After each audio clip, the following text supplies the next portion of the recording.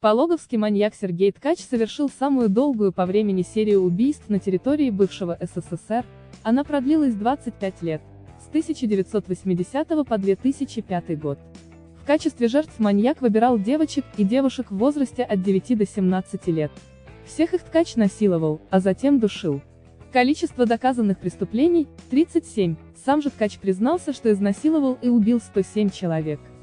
Но это не помешало молодой жительнице Ярославля Елене влюбиться в осужденного на пожизненное заключение маньяка, который старше нее почти на 40 лет. По словам Елены, она влюбилась в Ткача еще школьницей, увидев передачу о маньяке по телевизору. А потом долгие 8 лет пыталась его найти. Чуть больше полутора лет назад Елене удалось добиться свидания с Ткачом. Они поженились. В этом году у них родилась дочь, которую воспитывают родители Елены.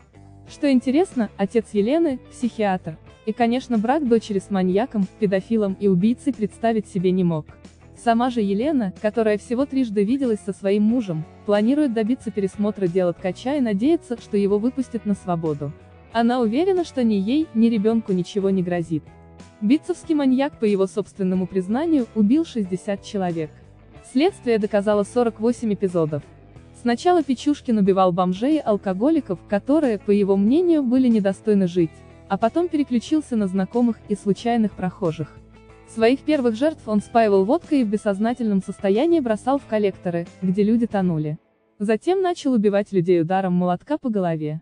В 2007 году Александра Печушкина признали ограниченно вменяемым и приговорили к пожизненному заключению с обязательным прохождением курса психиатрического лечения по месту пребывания. На этом, казалось бы, его история закончилась. Но оказалось, что есть женщина, готовая выйти за него замуж.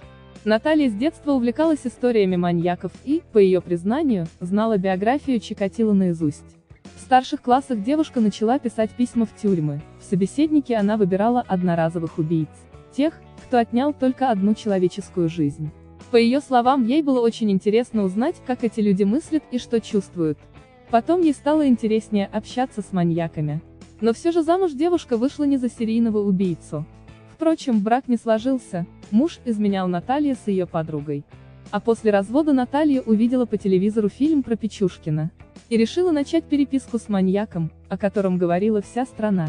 Адрес колонии, в которой сидит маньяк, Наталье удалось добыть только через два года. Печушкин ответил на ее письмо.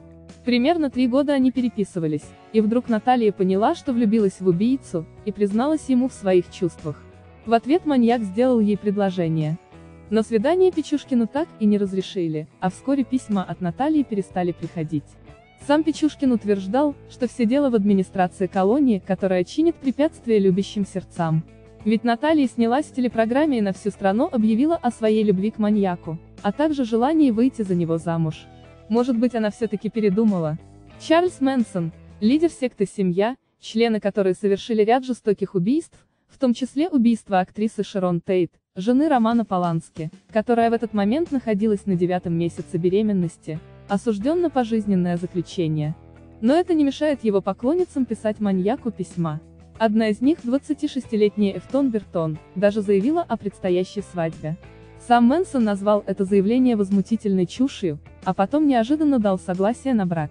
Но свадьба не состоялась. По словам Мэнсона, ему стало известно, что будущая жена планирует продать его тело после смерти. Точное количество жертв убийцы, насильника, каннибала и некрофила неизвестно, цифра колеблется от 26 до 100, сам маньяк сознался в 30 убийствах. В течение четырех лет с 1974 по 1978 год его дикие преступления держали в страхе восточное побережье США. Суд над Банди стал первым в истории США, который показывали по телевидению на территории всей страны, а сам процесс освещали журналисты со всего мира. Каждый американец готов был лично расправиться с садистом, но только не бесстрашная Кэрол Энн Бун, бывшая коллега Банди и мать-одиночка. Она начала встречаться с Банди примерно за год до его ареста и ничего не знала о убийствах.